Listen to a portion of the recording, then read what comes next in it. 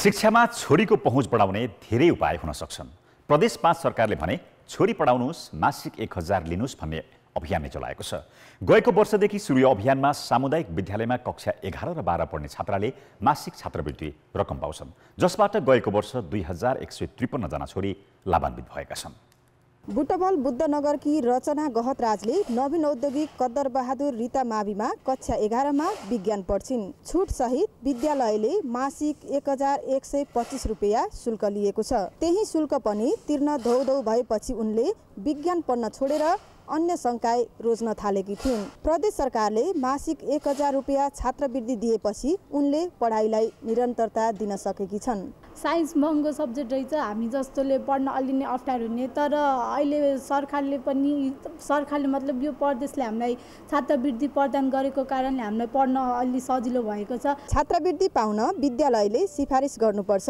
त्यसपछि विद्यालय वा विद्यार्थी आफैले निवेदन दिनुपर्छ। जुन रकम विद्यालय मार्फत वा सिधै विद्यार्थीको खातामा जान्छ। आर्थिक अभावमा पढ्न नपाएका छात्रालाई पढाइमा निरन्तरता दिन छात्रवृत्ति कार्यक्रम ल्याइएको हो। विज्ञान पढ्ने सबै समुदाय र सीमान्तकृत समुदायबाट जुनसुकै विषयमा कक्षा एघार र बाह्र पढ्ने छोरीलाई छात्रवृत्ति दिइएको हो।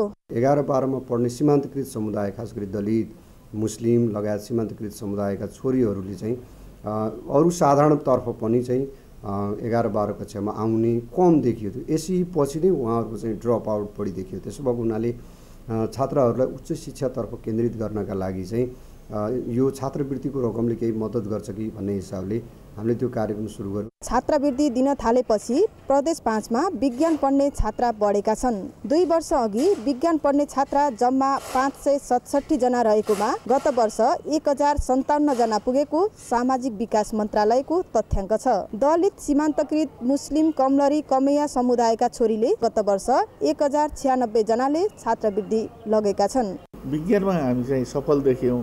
त्यसैको सँगसँगै रहेको अर्को दलित मुक्त कमैया कमलरी सीमान्तकृत र पिछडिएको वर्गका छात्राहरूको छात्रवृत्तिमा हामीले धेरै स्कुलहरूबाट त्यो निवेदन नै ऊ गर्न सकेनौँ। दलित मुस्लिम र सीमान्तकृत वर्गमा अक्षर चिनेपछि छोरीले पढ्नु पर्दैन भन्ने कारण कक्षा एघार र बाह्र पढ्ने छात्राहरूको सङ्ख्या थोरै छ।